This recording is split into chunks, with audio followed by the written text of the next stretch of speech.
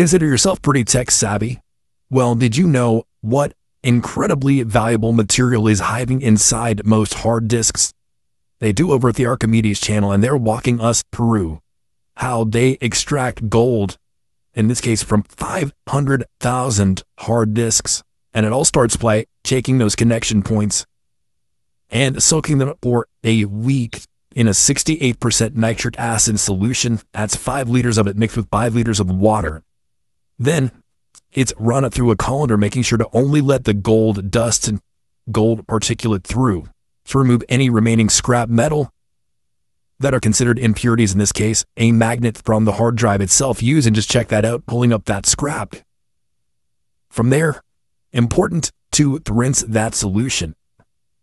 So it's rinsed out and then the gold is dried as well.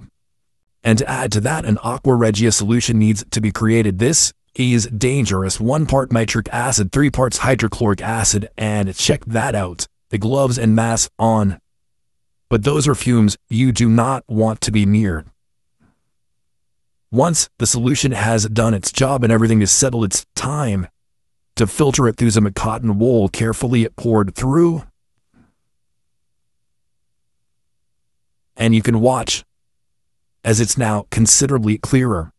To help the gold settle as sediment at the bottom of the solution, after being rinsed, some sodium metabisulfate is added until the saturation point is reached.